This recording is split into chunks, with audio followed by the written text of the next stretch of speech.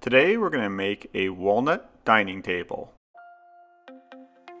I bought a slab of walnut from woodslabs.com. What I like about this site is that they show a picture of the actual piece of wood that you're buying. Shipping was free and all in I spent about $270 to get this slab. It arrived about two weeks later and looked exactly the same as it did in the picture. Now the most stressful part of a project like this for me is figuring out exactly how I'm going to cut up this big one-of-a-kind piece of wood. I want to try to get a nice tabletop with two live edges out of it with as little waste as possible. Now whenever I'm working with expensive hardwoods, I always make sure that the blades on my saws are nice and sharp.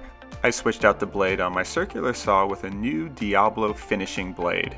I raised the slab up on some scrap pieces of 2x4, checked to make sure that the blade was going to go deep enough but not so deep that I would hit the floor, and then made my first cut. I now had two slabs that were roughly the same length. Now this first one I'm going to split in half and it's going to be the two long edges of the table. I clamped a straight edge down to the slab to help guide the saw and I used a weight plate to hold everything nice and still. This second piece is going to serve as the middle of the tabletop. So for this one I'm just going to trim off each of the edges. Now the live edge on this piece has some pretty crazy angles. So in order to preserve as much of the wood as possible, I'm going to leave a little bit of an edge sort of scooped out and I'll just make sure that I use that as the underside of the table. I'm going to join these pieces together using a biscuit joiner. Now to do this, I'm just going to draw some lines on them and then use the biscuit joiner to cut slots into the sides of the pieces of wood. This is a really easy tool to use and I now can insert these little plywood biscuits into the slots to make sure that when I glue the whole slab together, everything stays nice and even.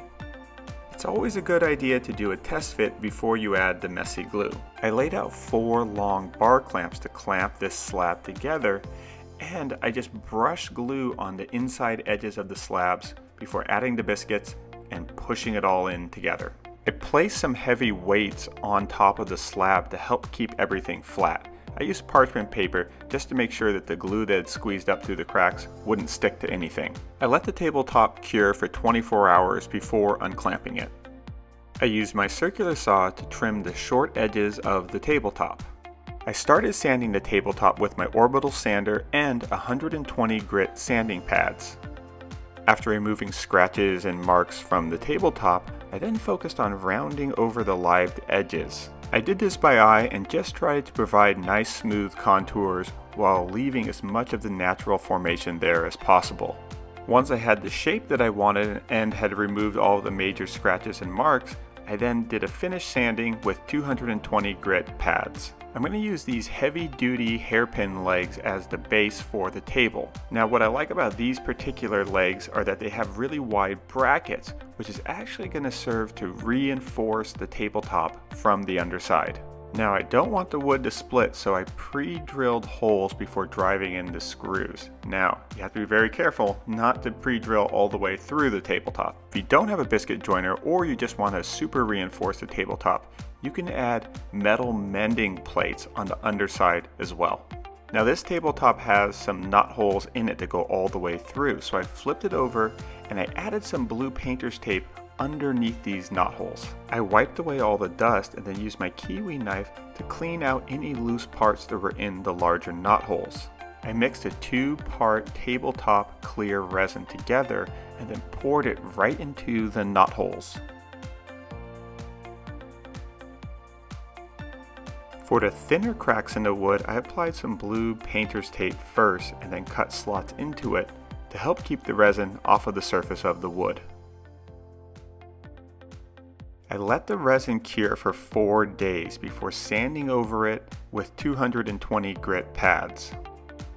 I removed all the dust from the tabletop with a clean rag and then applied Minwax's Wipe On Poly, one layer at a time, with a little bit of light sanding in between the coats. The resin looked a little bit cloudy after sanding, but once I applied the poly over the top of it, it cleared right back up again. I recommend three to four coats of this wipe on poly and make sure that you apply it with a rag and not a brush. When you really rub it into the wood, The finish tends to come out a little bit thinner and it feels more like real wood, not like you're coating it in thick plastic. This is a surprisingly easy DIY project and when you look at the price of solid walnut tabletops, you can see that there's actually a lot of value here for what the materials cost.